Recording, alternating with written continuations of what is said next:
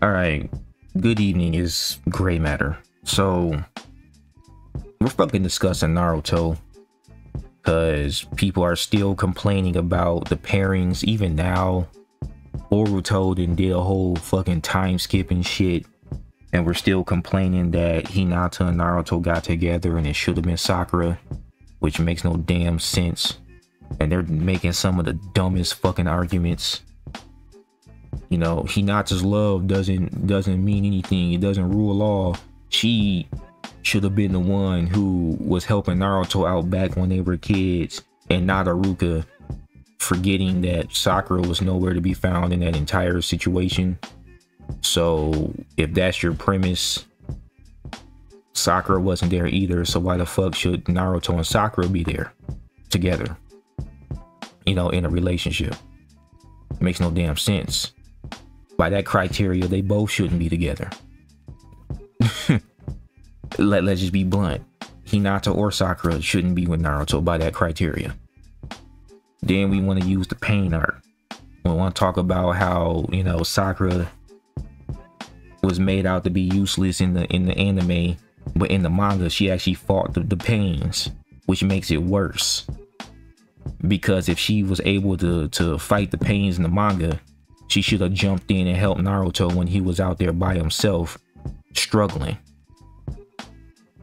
In the anime, Hinata went out there and, and you know tried to save him, and damn near died in the process. But that was her big confession. Apparently, in the manga, she was just planning on going out there and dying. Okay. But Sakura was nowhere to be found in either situation. And it's worse in the manga because it was shown that she clearly had the ability to fight back.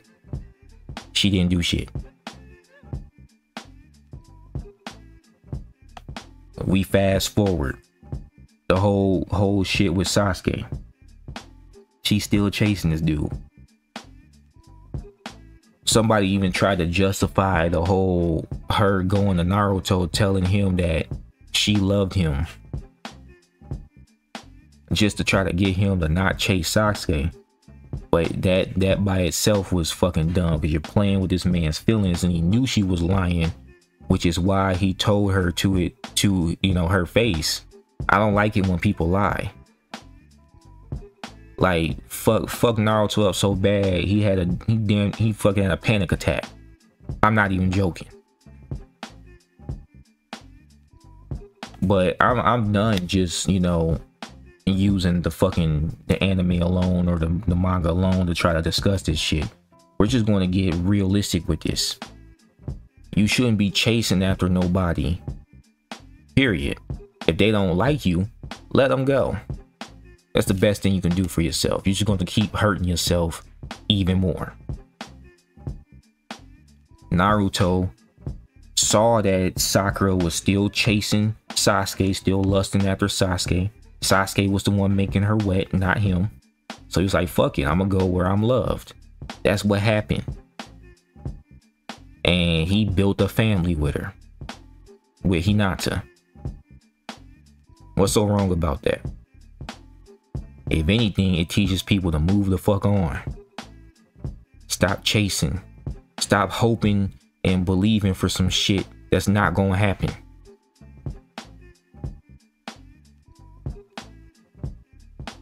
Like say say it did happen, right? Say say Sakura just magically just she magically had the epiphany. Oh, the guy I, I really needed was right here in front of me. That you know she's been fucking bypassing and putting on the, the damn back burner for years now. Now she's ready. Now now after her options are gone right? She exhausted all her other options now now naruto's the guy like get the fuck out of here the only difference between that situation and real life where men get played on a daily basis is that Sakura didn't get fucked on yet. That's the only difference. And I guarantee you, if Sasuke wanted to, she would have. He been deflowered the fuck out that bitch. And she been in bliss. Fucking digmatized. Over this man that really didn't give a fuck about her. And then after all of that, she tried to come back to Naruto. Like, fuck out of here, bro. All her options was gone, and now she gotta pick Naruto as the back burner boy, her last choice. Like, that shit is a lie. Like, if, that was Naruto's ending, I've been upset personally. Like, damn, this man about to be miserable. He about to pay the, the ultimate price for her flat ass. Like, get the fuck out of here. Like, and then then was even more fucked up is that people are mad that Hinata became a housewife. So what? Ain't nothing wrong with that. There are women in the world that actually like being home with their kids and like cooking for the family. I know it's it's crazy with all this feminism and and girl boss bullshit going on nowadays, but there are women who are traditional. Hinata is the traditional woman. That's just how she is. She never liked fighting like that anyway. Remember her backstory? Do you remember? Hanabi was a better fighter than, than Hinata and her dad, Hinata's dad, was like pissed off at Hinata because she wasn't a better fighter. He was fucking like disappointed, like disgrace, like she was bringing shame to the Hyuga clan because of how bad she was at ninjutsu. Like it, it, it was crazy in her backstory, and she had to work hard to get to where she was at. You know now. Like, what's to say that that shit ain't connected to some trauma? Maybe she was just like, I don't want to keep doing all this shit. I would rather be a mother. Maybe, maybe that's what her thought process was in universe. But you're mad because she's a fucking housewife. She actually respects Naruto. Naruto goes out, he works, and she respects that. He comes home, she ain't bringing no drama and no bullshit to him they actually smile when they're together. Like, man, come on, bro. That's a bad thing. It should have been Sakura. Are you fucking serious? She ain't appreciate Naruto when he was there before all of that. She like she really had her chance that entire time and she spent that shit chasing the dude who went rogue. And then she later on got piped down by this dude, birthed his child, and he wasn't even around he was fucking ghost. Like there was a whole arc about that shit. In Boruto, or not an arc, but Sarada wanted to know what her dad was like.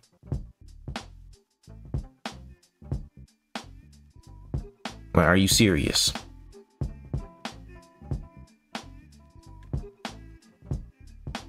And don't get me started about what what a relationship is like with a chick that you know never really liked you in the first place. There's going to be nothing but stipulations. There's going to be nothing but hoops to jump through. And then y'all get married and shit. She gonna be withholding every form of you know intimacy because she never liked you in the first place. You was the one chasing you was the one waiting which chicks find you know unattractive like there, there's there's so much shit that that goes wrong with this situation.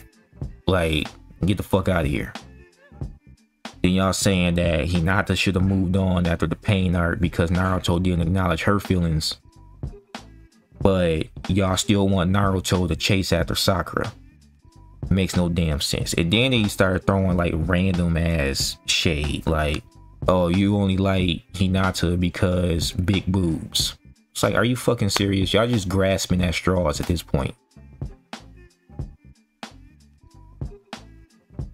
Like seriously. So like if they can't if they can't really like win an argument or bring anything actually logical to the point, they, they'll, they'll try to like throw shade and, and insult you.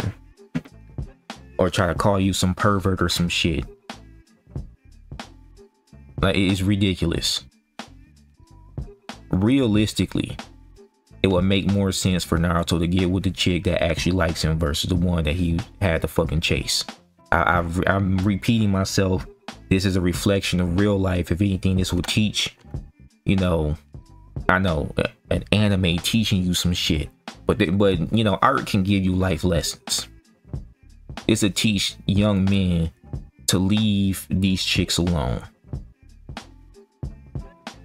What did Naruto do? He focused on his fucking goal and he went where he was loved. That's what he did. That's what every man should do.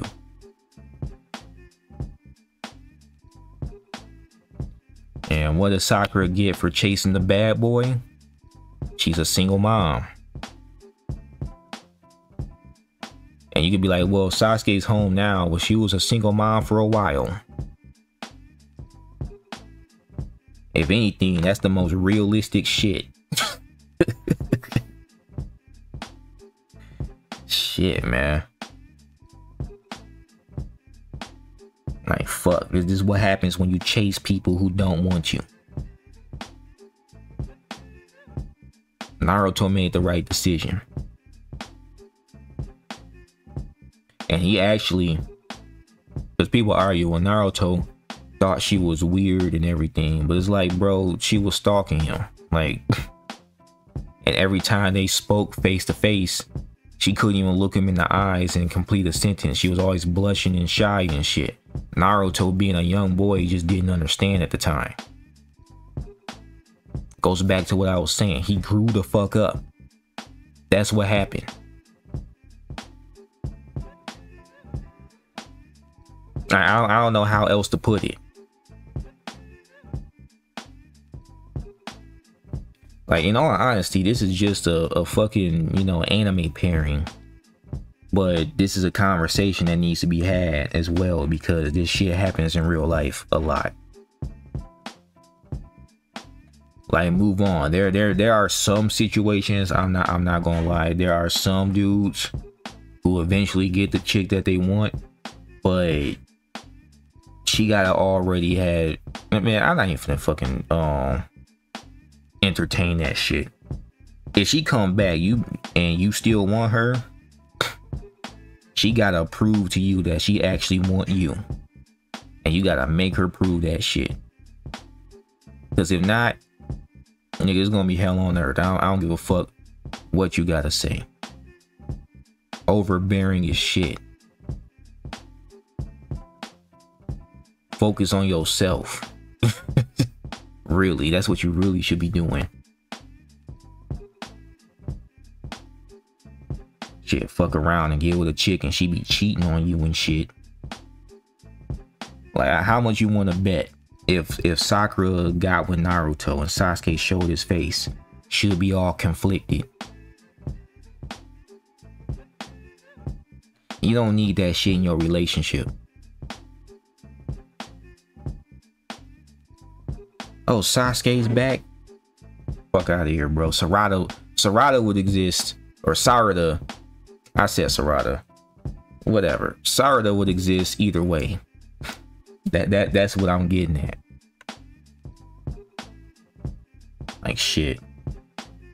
I, I'm fu I'm fucking done. If, if y'all want to say it don't make sense, you can go ahead.